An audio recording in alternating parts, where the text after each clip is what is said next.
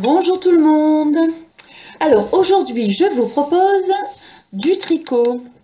Alors euh, donc nous allons tricoter des très grosses écharpes, vous allez voir, euh, cousues en une seule partie. Alors je vous montre. Ici, parce que j'en ai fait deux en fait, euh, comment dire, de tailles différentes. Donc voici la première. Et voici la seconde. Alors pour l'instant, euh, ça rend pas, mais je vais prendre une photo et enfin je vais, vous montrer la petite vidéo sur le mannequin, voir un petit peu le, résultat final. Bon, j'en avais fait une troisième, mais le problème c'est que je ne sais plus euh, le nombre de mailles que j'ai fait, donc je voudrais pas vous dire de bêtises. Alors, euh, donc, euh, je vais vous montrer de suite sur le mannequin ce que ça rend. Comme ça, ça vous permettra de vous rendre compte du résultat, final. Vous allez voir, c'est, enfin, je trouve que c'est super joli.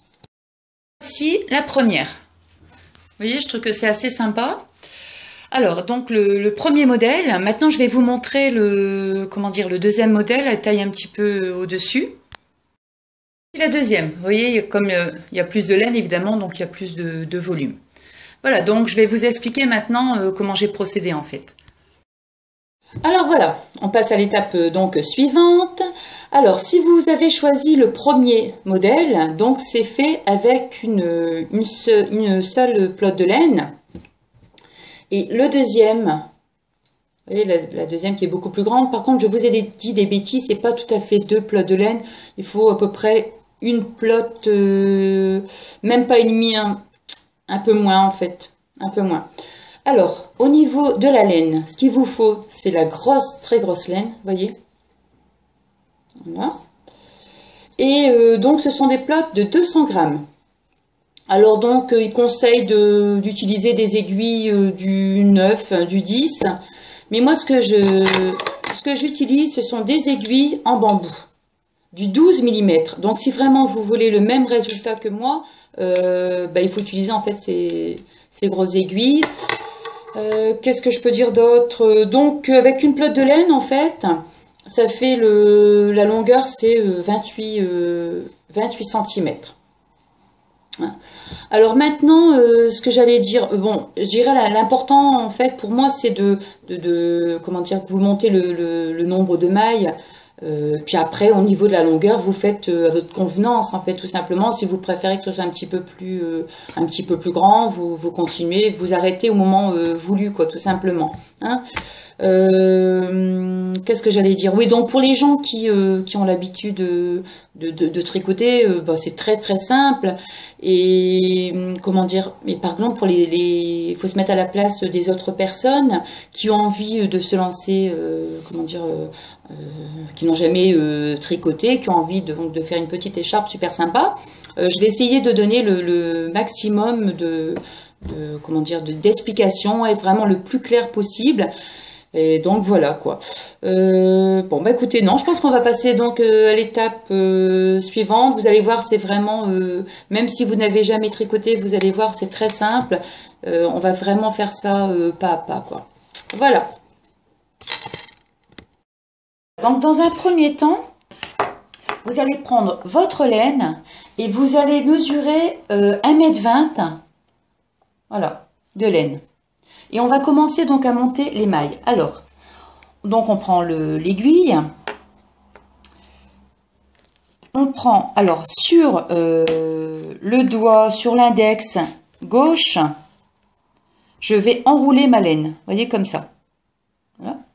Alors ici, il y a le petit trou là, voyez Donc je place mon aiguille à l'intérieur. Ensuite, avec le doigt, euh, avec l'index de la main droite, j'enroule mon doigt. Attendez, hop. Je viens, je viens passer donc euh, la laine au-dessus de l'aiguille. Et avec l'index gauche, je place dessous et je tire.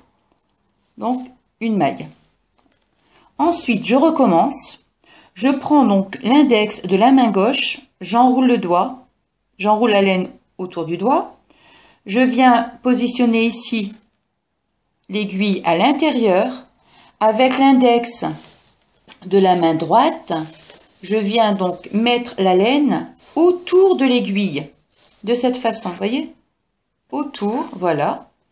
Et je replace la laine, hop, et ça fait deux mailles. Voilà ce que ça donne. Alors, je vais recommencer. Je prends donc l'index de la main gauche. Voilà, j'enroule la laine.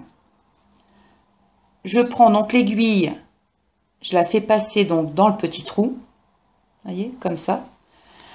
Avec l'autre laine donc de la main euh, gauche, de la main droite, pardon, je viens donc passer au-dessus de l'aiguille. Et avec la main droite, je passe la laine au-dessus. Voilà. J'espère vraiment euh, que vous voyez très bien. J'essaye d'aller vraiment doucement. Et donc voilà, vous voyez, à trois mailles. Je vais recommencer encore une fois. Donc je prends donc la laine hein, de la main gauche. Je l'enroule autour du doigt. Je viens passer là ici. Et je prends donc la main, le doigt de l'autre côté et je passe au-dessus de l'aiguille et je retire la laine et je tire. Donc ça en fait, il faut euh, donc le faire 40 fois en fait pour qu'on ait donc 40 mailles. Donc voilà, donc je vais monter mes mailles et puis on se retrouve euh, tout de suite après. J'ai monté les 40 mailles. Donc ça c'est le petit bout de laine hein, qui me reste. Donc je vous avais dit 1m20. Si vous voulez faire 1m25, euh, il vous restera un petit peu plus de laine, on ne sait jamais. parce que. Mais bon, avec 1m20, vous voyez ce qu'il reste, le petit bout de laine. Alors maintenant, je vais commencer donc à faire mon rang. Donc je vais faire que des rangs à l'endroit. C'est plus simple en plus. Alors, donc je vais prendre mon aiguille. Je vais venir la passer ici dans la première maille. voyez? Voilà avec mon fil, avec mon malène, pardon, je viens la passer au-dessus de l'aiguille. De cette façon. Vous voyez Je la mets comme ça. Au-dessus. Voilà. Et je retire la laine. Voilà. Et je passe de cette façon. Je recommence la deuxième maille je prends ici, là. Tout ce que j'espère, c'est vraiment qu'on voit très bien. Ça, c'est le petit bout de laine. Non, franchement, essayez de, le petit bout de laine. Je vous ai dit 1m20, mais mettez plutôt 1m25. Ce sera plus simple. Alors, euh, je recommence. Je mets donc l'aiguille dans le petit trou de la deuxième maille. Avec la laine ici, je la fais passer au-dessus de l'aiguille de cette façon. Et je viens glisser la maille, hop, et ici, voilà, je retire. Et je tends un petit peu. Pas trop quand même, comme ça vous avez, euh, ça va être beaucoup plus euh, joli, parce que quand les mailles sont trop serrées, après c'est pas, c'est plus difficile. Alors je recommence. Je pique donc dans le trou de la maille. Je passe ici avec la main droite la laine, je la passe au-dessus de l'aiguille. Voilà. Et je viens faire passer la maille de l'autre côté. Alors, je vais refaire ici. Je pique donc à l'intérieur de la maille. Je viens passer l'aiguille. Si je mets la main devant, vous n'allez rien voir. Voilà. Hein, J'en suis venue donc passer la laine de ce côté-là.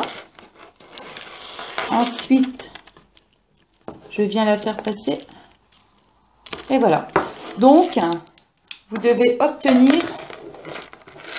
voilà le petit résultat. Bon, donc je vais faire toutes les 40 mailles, je vais continuer et puis au moment, euh, où, au moment où je vais, euh, comment dire, je décide d'arrêter, euh, je vous montre comment on fait pour arrêter les mailles. Voilà, on se retrouve tout de suite après. Hein. Donc j'ai terminé, voyez. Alors en fait, j'ai calculé, euh, au niveau des rangs, j'en ai fait 30. Et au niveau donc de la, de la, comment dire, de la, de la hauteur, donc c'est équivalent à 42 cm. Donc voilà. Alors maintenant, je vais vous expliquer comment fait-on pour, euh, comment dire, bah, pour arrêter euh, les rangs, quoi, tout simplement. Hein. Les mailles, quoi, je les rangs, non, les mailles. Alors, vous allez donc, vous avez donc toutes les mailles de votre rang sur, euh, sur l'aiguille. Alors, vous allez voir, c'est très simple. Il suffit de prendre donc l'aiguille, de la mettre donc ici dans le petit trou, hein, de la mettre sur la maille. On glisse cette maille-là, il, faut il faut venir la mettre sur l'aiguille euh, de droite. Donc, je glisse. Voilà. Donc, voilà. Ensuite, je refais la même chose avec la deuxième maille. Je la prends. Je la glisse pour la mettre ici sur l'aiguille de droite. Voilà. Ensuite, vous allez voir, c'est vraiment simple.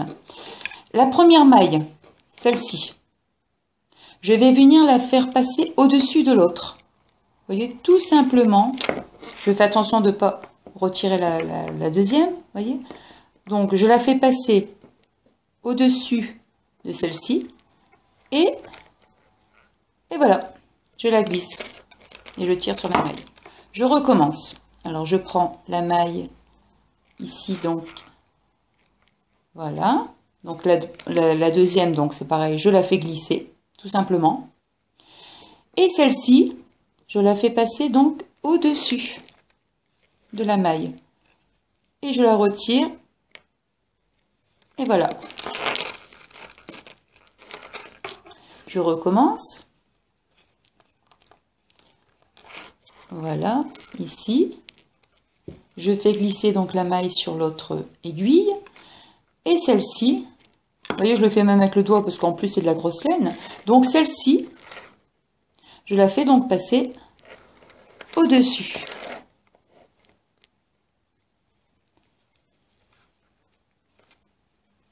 Et voilà. Et je tire un petit peu sur le, sur le bout de la laine. Je recommence. Donc je glisse la maille. Voilà. Et celle-ci, je la retire. Donc voilà, je vais continuer euh, jusqu'au bout, tout le rang. Et puis je vous retrouve tout de suite après. Par contre ici sur le, comment dire, tout au début là, euh, euh, que j'avais commencé, j'ai fait un petit nœud, voyez? Voilà, pour éviter que la laine s'en aille. Donc juste un, petit nœud, quoi, ça suffit. Bon, donc je fais le rang, puis je, je vous retrouve tout de suite après.